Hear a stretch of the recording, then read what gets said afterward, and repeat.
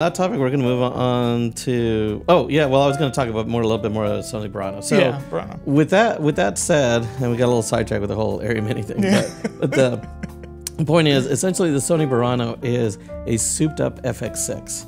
So from a quality standpoint, it does fit right in between the uh, the Sony Venice uh, uh, one or two, you know, pick your pick, um, and the Sony FX9 is like right in the middle there.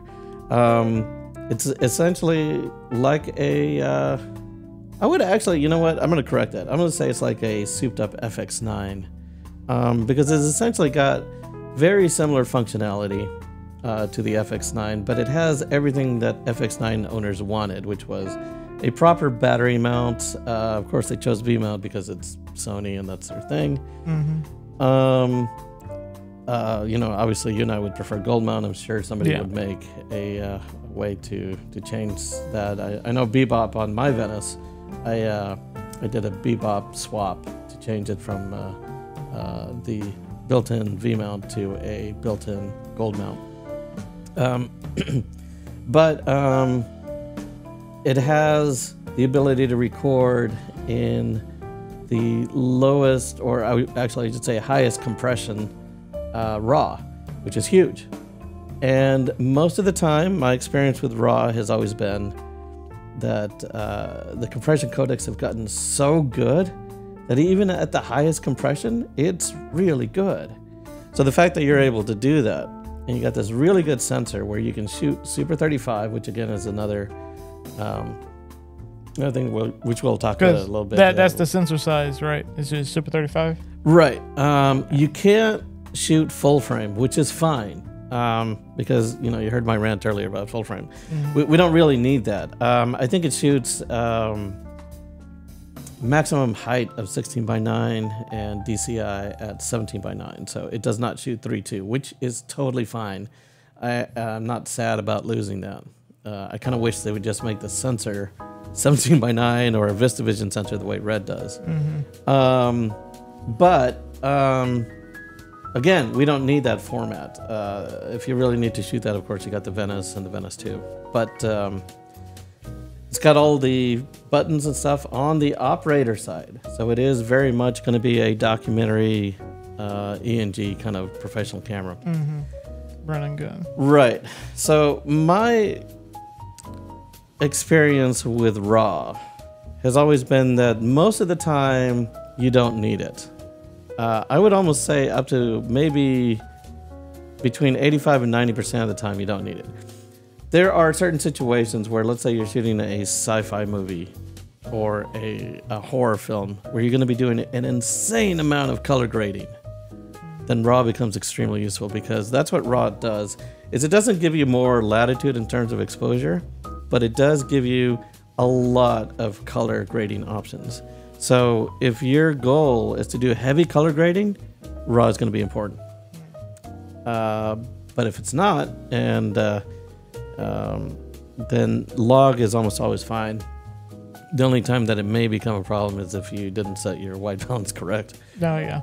well, I guess you could you can um, but that's Well- probably a, yeah. while while we're on this topic topic, I guess you can tell the people or explain to them the difference between log and raw because when Mm. once once you look at them, they in the camera they both kind of look similar. That's right, they do. To yeah, so in terms of just what each is, would you? Um, so raw, essentially, what it's supposed to be, and it does vary from manufacturer to manufacturer, but what it's supposed to be in its most basic form is that it takes the black and white data that comes out of the sensor uh, and allows you to adjust how it produces color when it's in whatever program you're going to be using. Um, there's no color information added within the camera. Um, I mean, technically there kind of is because of the way the Bayer mask works, but um, technically all the color processing for the final color image is done in the computer, not in the camera. This is not true with all cameras. Blackmagic, for example, um, uh, does process their their raw files. So Blackmagic RAW actually is a process file, and the reason they did that actually wasn't because um, uh, you know they couldn't do a true raw file. Well, the reason they couldn't do a true raw file was because of Red, which uh, that's a whole different topic. But essentially, Red had the patent on internal raw recording up until recently, where Nikon challenged it. Um, but uh, uh, different manufacturers went about it differently. Arri, for example, I think was trying to do uh, one frame at a time, so that way it technically wouldn't be internal raw. The Sony Venice, of course, added the back, and the reason that the FX6, FX3, and FX9 all had to have external recorders to use RAW was because of Red. Red. Oh, I did not know that. I did not know. So, they, So- they basically had the, the chokehold on they had the chokehold on it, and Nikon challenged it, and now it's opened the doors up to uh, yeah manufacturers finally doing internal RAW. Okay. And this is why I hate autofocus because once again, it's focused on us. Oh, of course. Oh my goodness.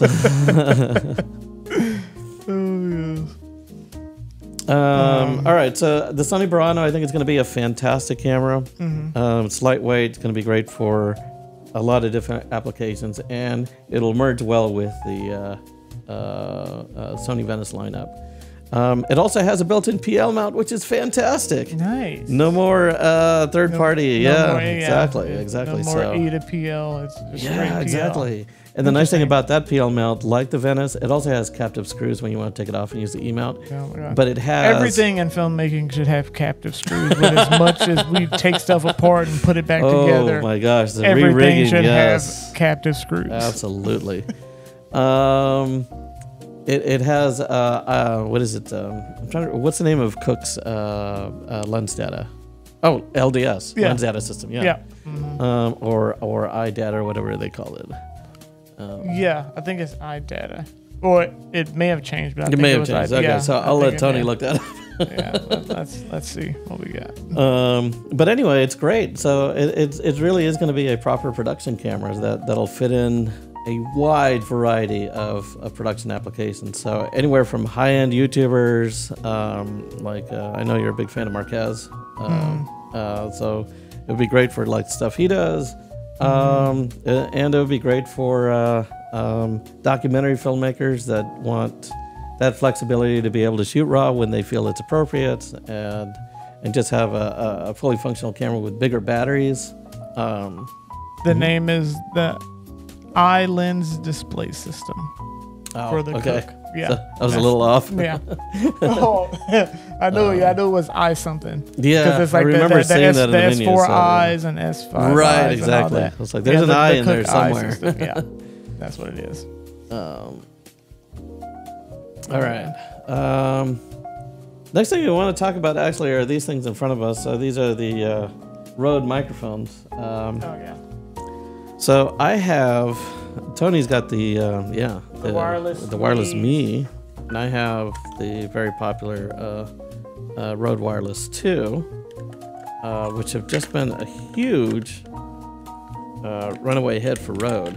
Yeah. Um, now, there's been a lot of talk online about uh, you know who these mics are for, Mm-hmm. and I can tell you right now in one word. It's for us.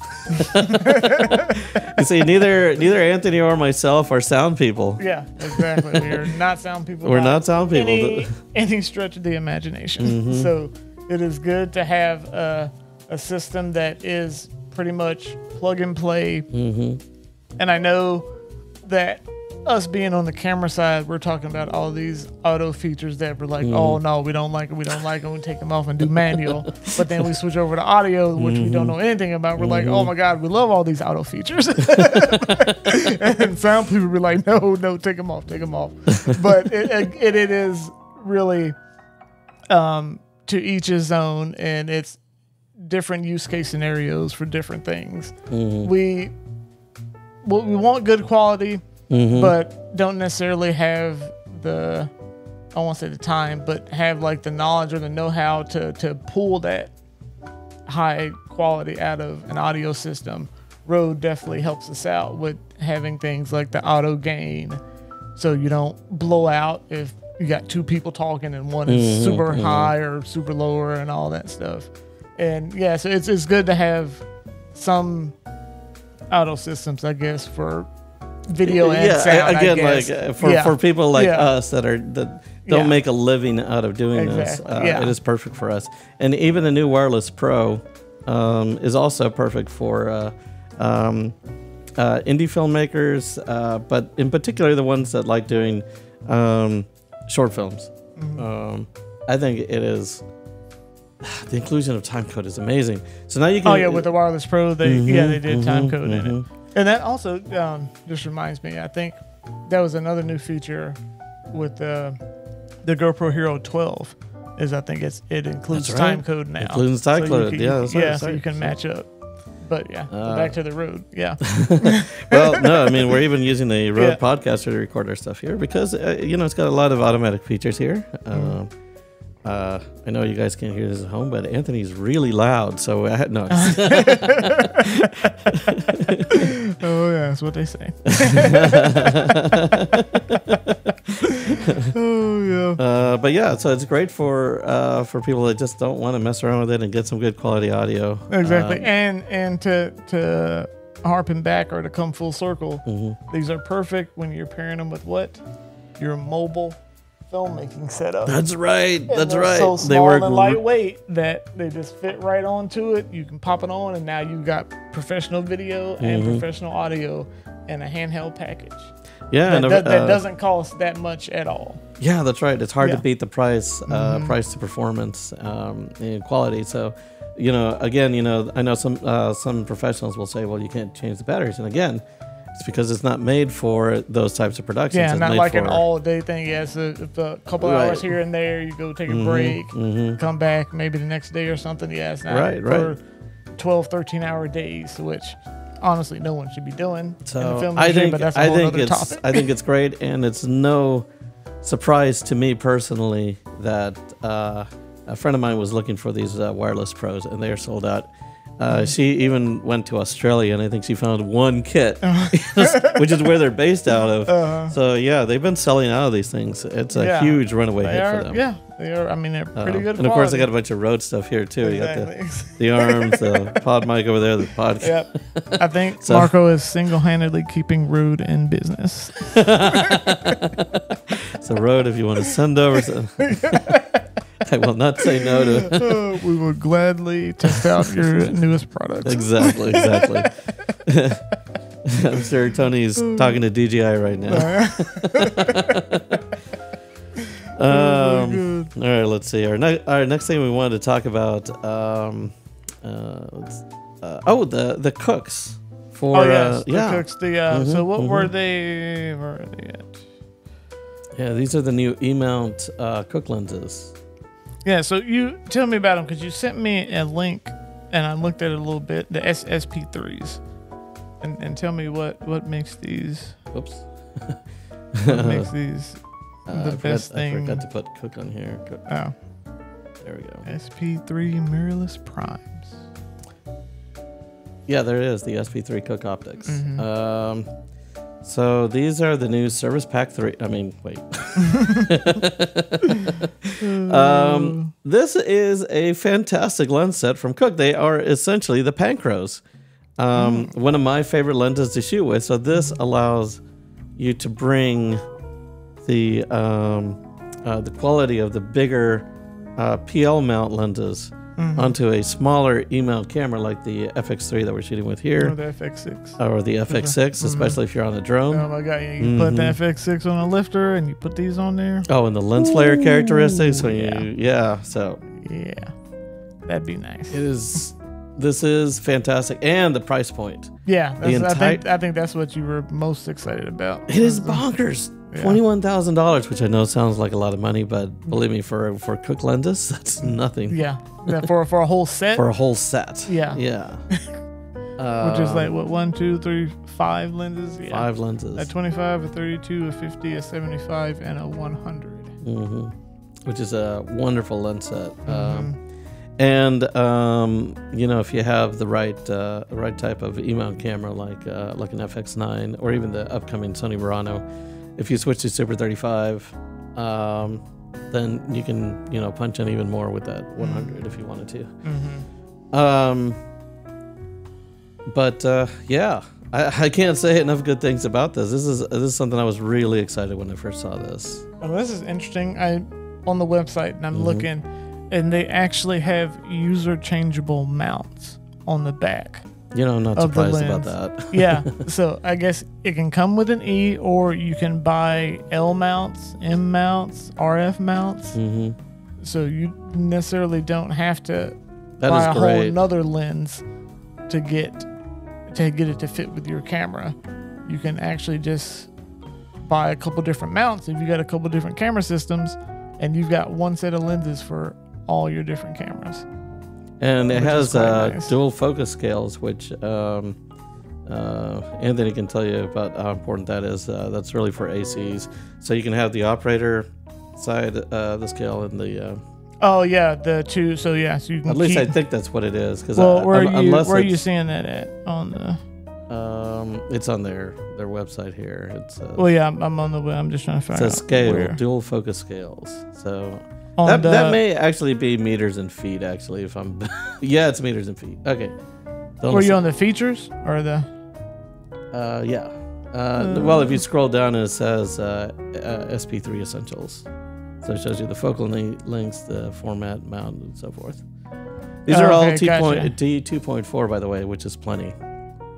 Um, you know, you can't get into those crazy lenses with 1.2 or 1.0 or 0.95. Um, and those are really sort of specialty situations. Um, Mm, I personally, as you know, have a problem with shooting everything ultra shallow. yeah, because you can't um, see anything. You can't see anything. Yeah, You're exactly. you're in a world of blur hmm hmm and just one person. Uh, yeah, there's no there's no grounding of where you are, so it's like a little bit of blur. I'm good with, but uh, turning it into a soup, uh, uh, Yeah. not so much. Exactly.